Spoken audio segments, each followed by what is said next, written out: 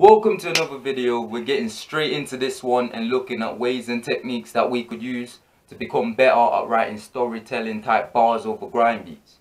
Uh, the first thing is to decide what emotional reaction you want from your listeners. Number one, the first first of all, you need to decide what emotional reaction you want to invoke in your listeners. This is going to act as the theme of your verse, right? I don't need to make the theme something like, oh, the story is set back in my school days or it's story about my battle with depression or anything like that. Instead, decide what emotional reaction you want to invoke in your listeners and let that be the theme of your story. That way you can make the story about whatever you want and take the bars in whatever direction you want just as long as the song invokes that emotion that you chose.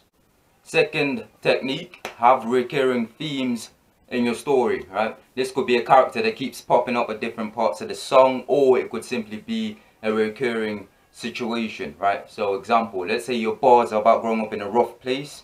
The recurring situation that keeps happening might be that you keep getting put in a position where you have to commit a crime and the the recurring character might be your mother trying to dissuade you from that path right whatever anything you can think of uh, having a having a recurring theme like this in your story connects the bars it keeps the story connected and it's also where the key points of your story are going to appear Number three is to use deeply descriptive bars, right? Try to use words that induce vivid imagery in your listeners. So for example, instead of saying my whole life I was taught to conform, you could say something like for years I was chained down and forcefully brainwashed, right? For years I was chained down and forcefully brainwashed.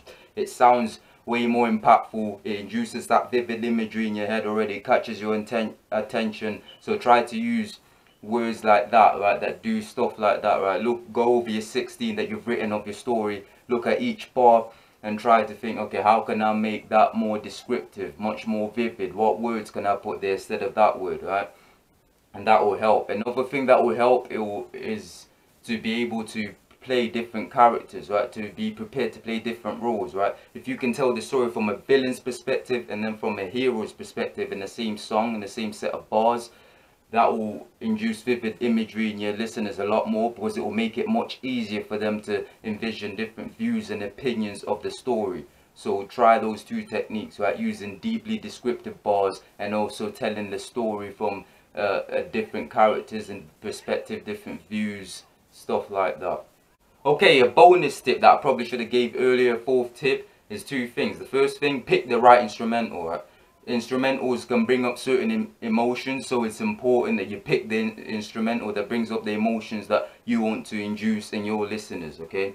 And you can test this for yourself by putting an instrumental not judging it just sitting through it and listening to it fully like how you're supposed to listen to music and then putting on another instrumental after that and you see both instrumentals will bring up different different emotions right? So it's important that you pick the instrumental that brings up the emotions that you want your viewers to experience when you're when they're listening to your song your story okay? The second thing is to write a rough draft before you write a story. Now this is just to get your creative juices flowing because if you're used to writing bars about different topics not so used to writing storytelling type bars it's not going to come that natural to you right? It might but it most probably won't. So it's important that you write these rough drafts. And when you're writing your rough drafts the trick is to not give up right? Write as many as you want. Like i said it's not going to come natural to you. So even in the rough drafts you might think oh this is shit. It's not working. Right? Just keep keep writing with your rough draft and this until you get the groove of it. And once you do that you'll be a lot more creative. And with the instrumental you'll be able to start your story or verse well. So do that before you write a story. And with that being said that's the final thing and that's it for this video. Once again a big thank you to everyone that subscribes and supports the channel. Appreciate it much.